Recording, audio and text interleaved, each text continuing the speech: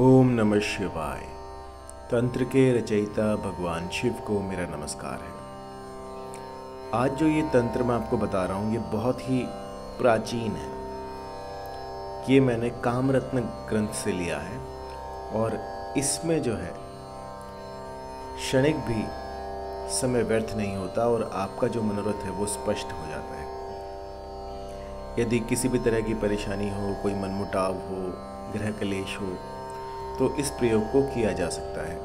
यदि आपकी प्रेमिका आपसे रूठ गई हो या फिर आपके पति आपसे रूठ गए हो तो भी इस प्रयोग को किया जा सकता है।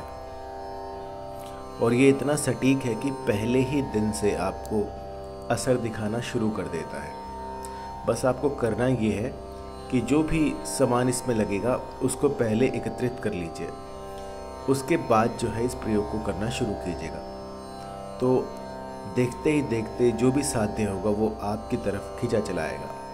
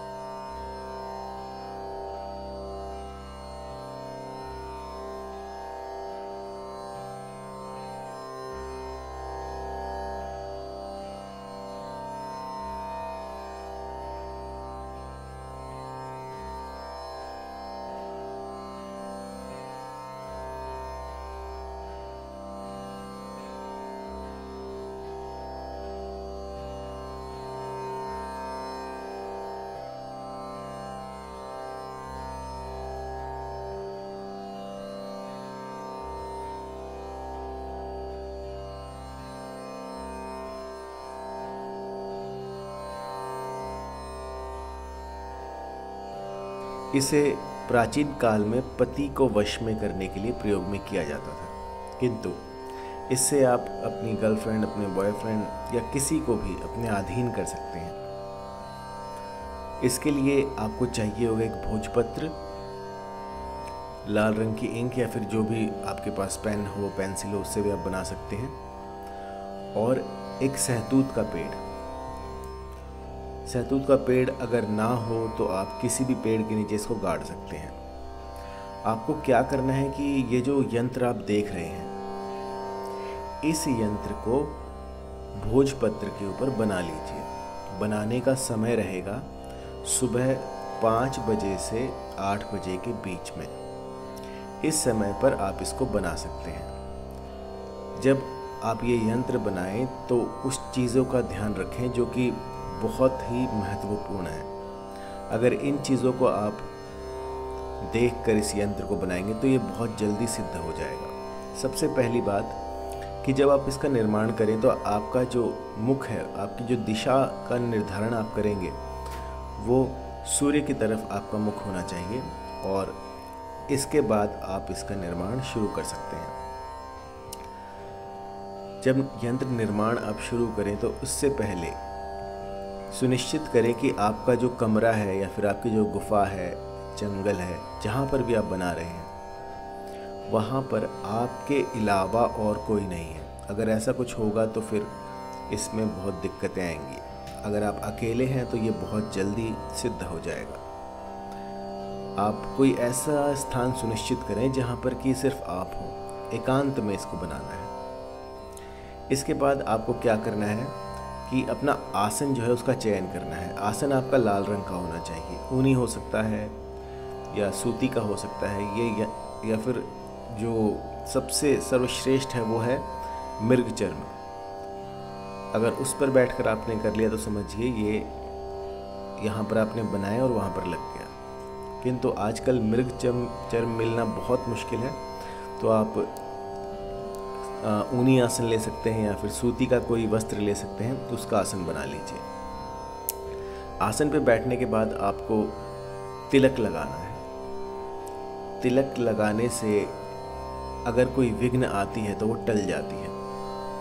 आपको क्या करना है कि यंत्र राज को कुछ मिठाई, कुछ धूप, दीपक, ये सब जो है दिखाने होते हैं।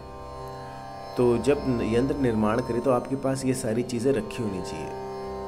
इससे क्या होता है कि आपकी साधना में कोई विघ्न नहीं आता। यदि आप ये सारे प्रयोग कर लेते हैं, ये सारी चीज़ें एकत्रित कर लेते हैं और उसके बाद यंत्र निर्माण करते हैं तो ये बहुत जल्दी ही आपको फल देगा। आपको करना क्या है कि भोजपत्र के ऊपर ये जो यंत्र आपको बताया गया है, इसको बना लीजिए। बनाने के बाद इसकी प्राण प्रतिष्ठा कीजिए और उसके बाद इसको किसी शहतूत के पेड़ पर टांग दीजिए। जैसे जैसे ये यंत्र हिलेगा वैसे वैसे आपका जो साध्य है, वो आपके अधीन होता जाएगा। उसमें वो तड़प पैदा हो जाएगी आपके लिए। और इसके बाद जो है, बस वो आप ही की माला जपेगा।